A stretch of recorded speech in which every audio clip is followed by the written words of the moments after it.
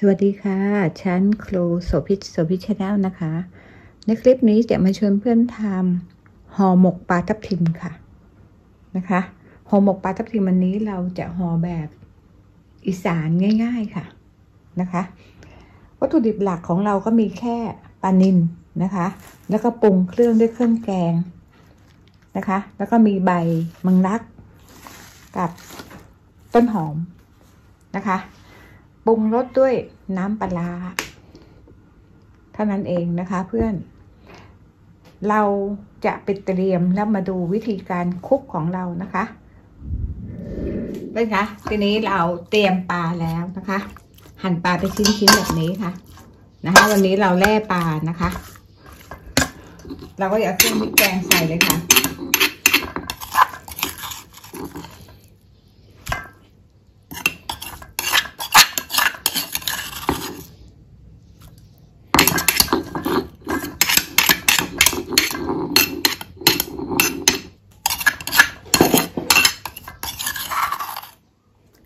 เราใส่แบบนี้นะคะ คนให้เข้ากันนะคะ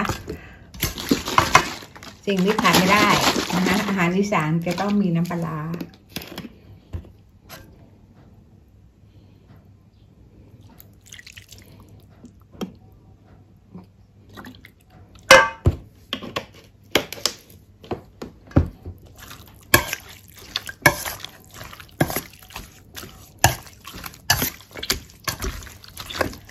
คนนานๆนิดนึงนะคะ ให้เครื่องแกงกับปลาเนี่ยเขาเข้ากันนะคะ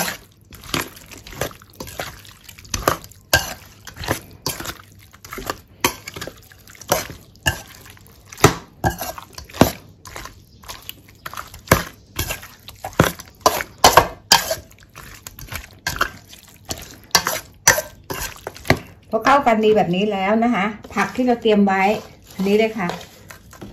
ใบมะกรูดนะคะ ใส่ไปก่อนนะคะเอาใบมะกรูดใส่ไปก่อนนะคะ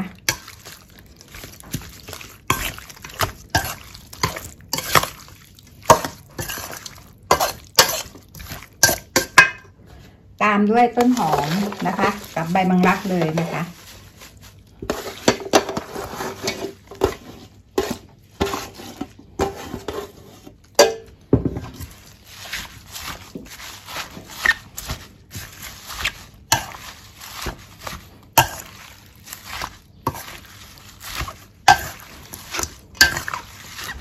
พยายามคนให้เข้าเข้ากันนะเพื่อนนะให้พริกแกงทั่วๆนะคะ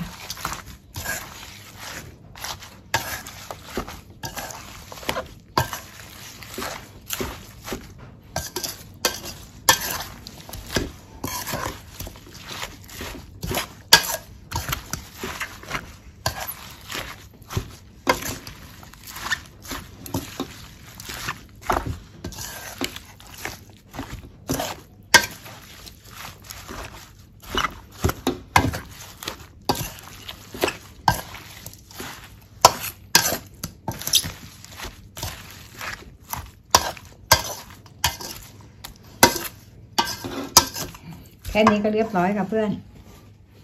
นะคะ เดี๋ยวเรามาห่อวิธีการห่อนะเพื่อนนะ เราจะใช้ใบตองสองชั้นนะคะ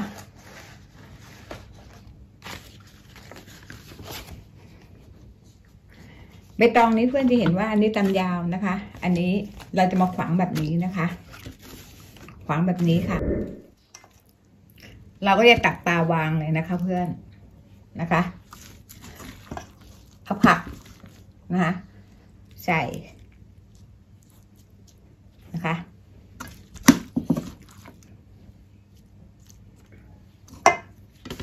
เพื่อนดูนะคะ รวบนี้ขึ้นมานะคะ เหมือนห่อขนมทั่วไปเลยนะคะข้างนี้ขึ้นค่ะ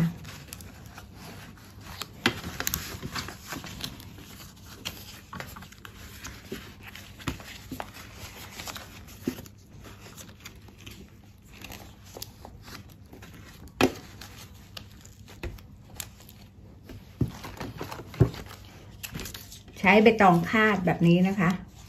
เพื่อไม่ให้เขาหลุดนะคะเพื่อนนะคะ แล้วก็ใช้ไม้กัดเนี่ยค่ะกัดทะแยงนะคะ กัดทะแยง แบบนี้ค่ะ เสร็จเรียบร้อยนะคะ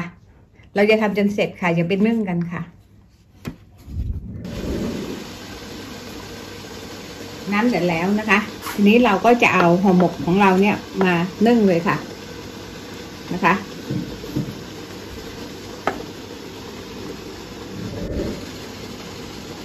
จะนึ่งประมาณ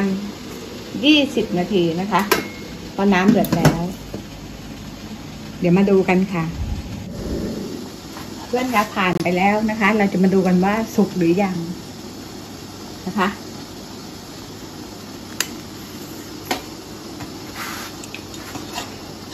เดี๋ยวเรามาแกะดูกัน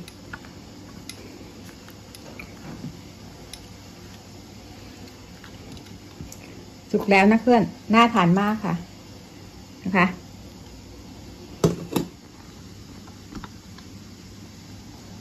เพื่อนคะ คลิปนี้ถ้าเพื่อนชอบ